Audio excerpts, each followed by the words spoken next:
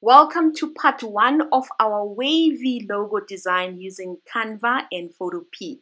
Part one, we're going to be using our smartphone. Part two, we're going to be using a laptop. Big shout out to Stan the plumber who's inspired today's video. You can find him on Instagram. He is one of the plumbers in South Africa. We're saying shout out to our South African entrepreneurs. Stan, keep up the good work.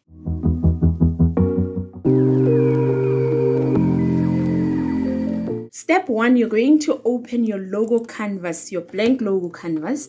Then you're going to select create a blank canvas. Once the canvas has opened up, you're going to go to the bottom of the page and you're going to select text and you're going to add your text. And then you're going to write the name of the business in nice and big and bold. And then you're also going to change the color and make it whatever color you want. We're going to duplicate the text so that we can put MAPS's slogan and we're going to reduce the font size at the bottom of the page so that the slogan is smaller. So we're going to change the color and make it blue because it's plumbing, it goes with water. I think blue makes just sense for the company. So we're going to change all of the text to blue and then we're pretty much done with step number one. The next thing, in order for us to get to use the wavy effect, we need to download our text and make it a image or change it to image. So we're to go to share and we're to download it and we're going to be using the PNG version and we're to select transparent background and we click on download. If you don't have transparent background, you're more than welcome to trial it for 30 days on my description below, or you could use remove.bg or erase.bg.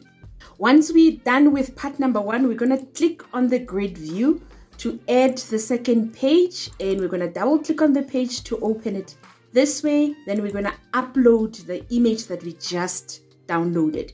We're going to go to our uploads and we're going to select upload files.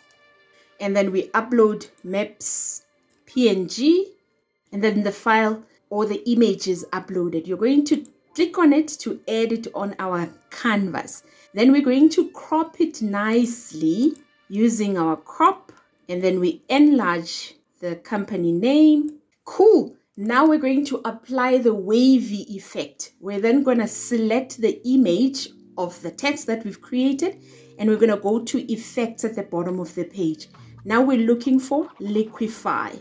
So you're going to scroll on your effects at the bottom of the page until you find the one that says liquify. This pink and blue, that beautiful color that's on there. And then liquify is going to open up with different kinds of effects that are available.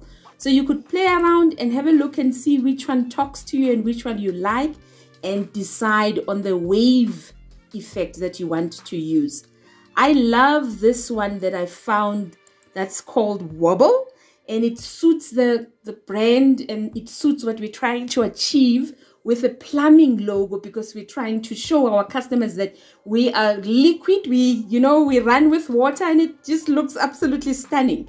And what you then do if you don't like the way it's waving or the way it's wobbling you just click on the settings to increase the wobbling or decrease the wobbling and make it the way that you want.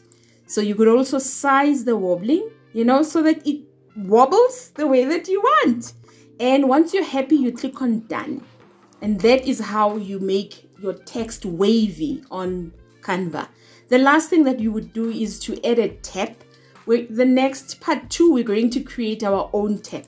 But for today's lesson, we're going to go find a tab that I've found on Canva and I've saved it on my start. So I'm just to go on start just to save us time and I'm to add this nice tap that we found here. So we're going to put the tap so that it tilts and the water would be dripping on the plumbing. So you are a designer, so you play around with it. And you can use your nudge. I love the nudge on the phone.